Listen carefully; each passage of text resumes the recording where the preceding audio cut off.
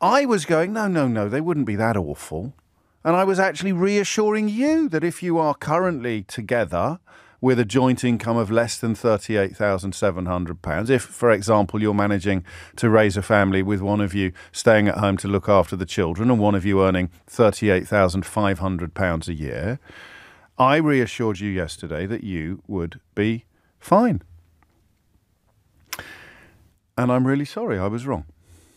It, it, has been confirmed subsequently, and I bring you this news, if you haven't heard it already, with a genuinely heavy heart. It is one of those mornings where I can't quite believe what has happened to my country.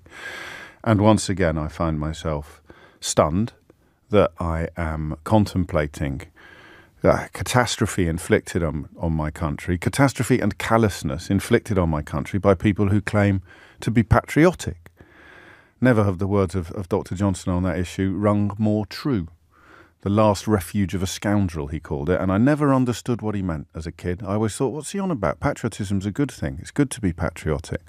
But people who trumpet their patriotism and use it as a camouflage for their ca- catastrophic conduct and their callousness, they are scoundrels. They are scumbags to use a more modern phrase, and people claiming to be patriots, whether it's Nigel Farage with his, his grubby saloon bar xenophobia, or whether it's Boris Johnson with his self serving, narcissistic, instant gratification, they are the people responsible for, for bringing our country close to its knees.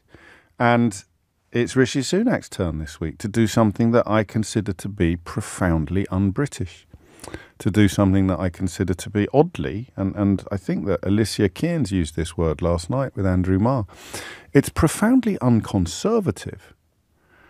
And, and, and I speak when I say that of an ideology that recognizes aspiration and that recognizes the importance of family.